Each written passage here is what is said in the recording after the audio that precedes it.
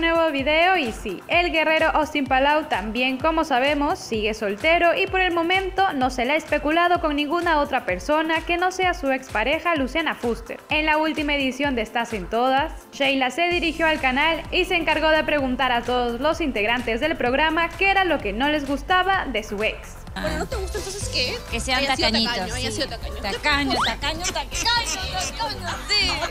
Uno, uno, uno tiene que, que hacer detalles, tener detalles con su pareja. O sea, ahora es todo canje, ¿no? Pero antes, o sea, no. ¿Ese es Carloncho? Ay, yo saco mi conclusión. mala eres.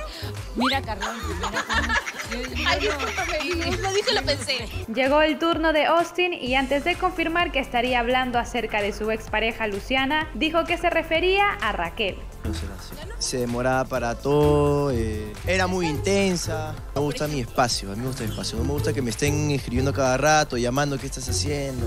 Luciana no era intensa, entonces con... No, no, no, no. ¿Qué, qué otra vez conocida tienes, Austin?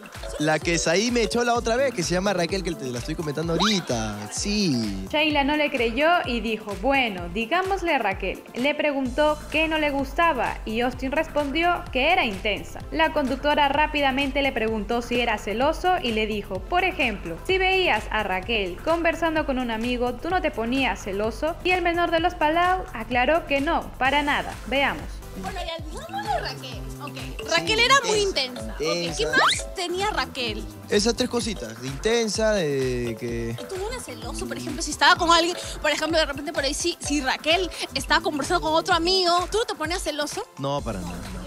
Pero ahí no termina todo y se le preguntó si Austin cree en los Remember o si estaría con- considerando uno con su supuesta expareja Raquel. Austin no afirmó ni negó nada y solo respondió, si se da, pues se da. La ves a Raquel, ¿qué le dirías a Raquel?